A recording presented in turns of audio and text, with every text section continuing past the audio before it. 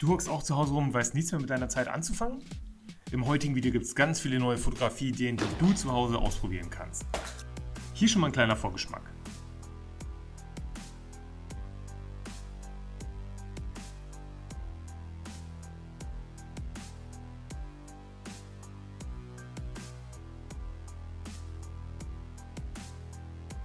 So, los geht's. Zum Anfang habe ich hier mal einen kleinen Hack für dich. Das hier ist übrigens eine Sonnentaupflanze. Welcher Hintergrund gefällt dir am besten? Der grüne oder der schwarze? Ich persönlich finde den schwarzen am besten. Das sieht irgendwie professioneller und sauberer aus. Aber wo ist jetzt der Unterschied zwischen den beiden Bildern? Habe ich einmal die Pflanze mit dem schwarzen und einmal mit dem weißen Hintergrund fotografiert? Nee, in Wirklichkeit würde man hier bei beiden Bildern einen schwarzen Hintergrund kriegen.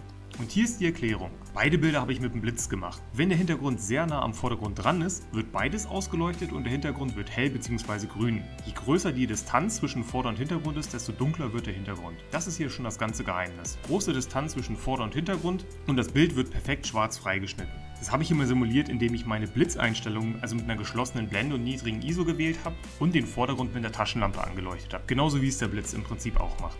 Ja, als Einstieg waren da schon ganz nette Bilder.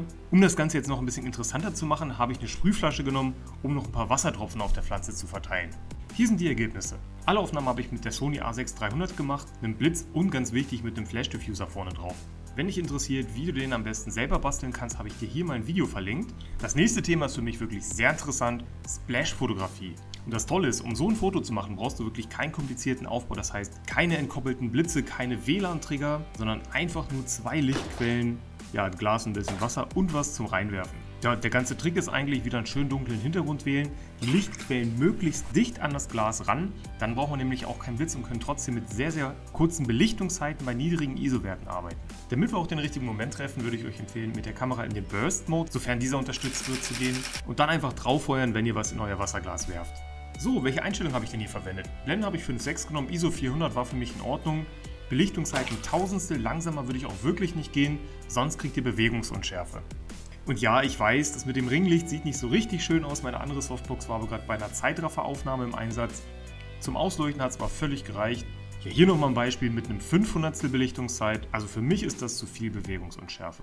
Aber Geschmackssache. Die Bilder habe ich übrigens wirklich alleine gemacht. Das heißt, ich stand auf so einer kleinen Trittleiter, habe mit einer Hand die Tomate fallen lassen, mit der anderen Hand war ich auf dem Auslöser, habe im Burst-Mode drauf gefeuert und musste dann eigentlich nur noch hoffen, dass ich auch wirklich mit der Tomate das Glas treffe. Einfacher ist es natürlich, wenn man vielleicht eine Limette oder ähnliches nimmt. Also die Tomate war fast so groß wie die Öffnung. War nicht so richtig einfach, aber dafür finde ich, sind die Aufnahmen echt ganz gut geworden.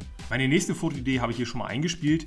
Als nächstes wollen wir mal Bilder von der Blende machen, beziehungsweise von den Blendenlamellen eures Objektivs. Die Aufnahme, wo sich die Blende automatisch öffnet und schließt, habe ich gemacht, indem ich einfach von dem S in den A, also von Shutter in Aperture Mode gewechselt bin. So, hier haben wir noch eine riesige fette Reflexion von meiner Softbox auf dem Objektiv.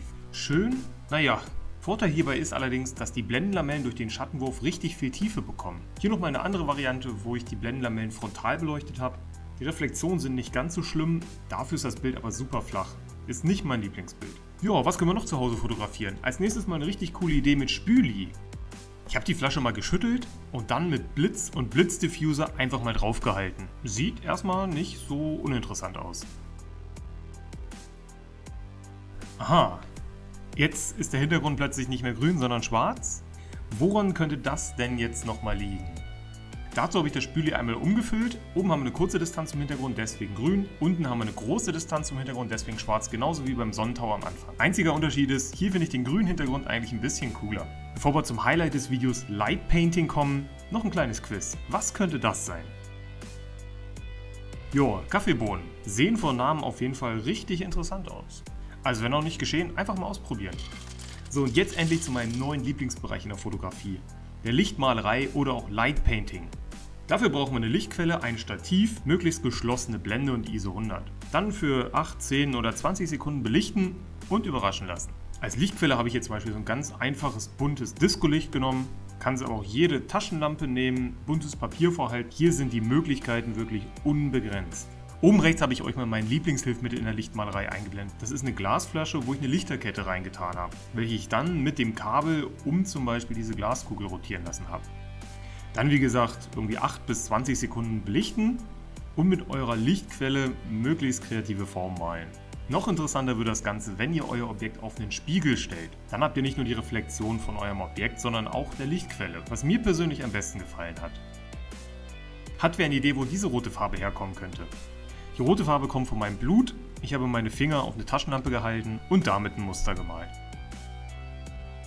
Aber gehen wir nochmal einen Schritt zurück. Wie genau habe ich jetzt die Bilder gemacht?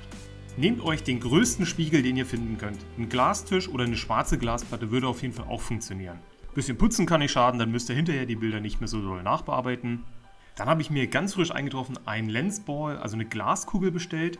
Die nimmt man eigentlich dafür, um Fotos auf den Kopf zu schießen, hat sich aber super angeboten, das mal für die Lichtmalerei zu verwenden. Und los geht's, Belichtungszeit 10 Sekunden. Jetzt heißt es kreativ werden, verwendet verschiedene Lichtquellen, bewegt diese in verschiedenen Formen, Reihenfolgen, malt kreative Muster und lasst euch von dem Thema einfach begeistern. Ich meine, hättet ihr gedacht, dass das am Ende so aussieht? Das ist schon echt faszinierend. Ich hoffe, für dich waren ein paar Anregungen dabei. Wenn du meine Begeisterung für die Lichtmalerei teilst, würde ich mich auf jeden Fall freuen zu hören, wie denn deine ersten Versuche liefen oder wenn du in dem Bereich schon was gemacht hast. Teil doch gerne einfach deine Bilder mit uns. Kannst mich auch gerne über Instagram oder Facebook anschreiben. Also wenn dir das Video gefallen hat, was für dich dabei war, freue ich mich über dein Feedback, wünsche dir noch einen schönen Tag. Verbring kreative Tage zu Hause und hoffentlich bis nächste Woche.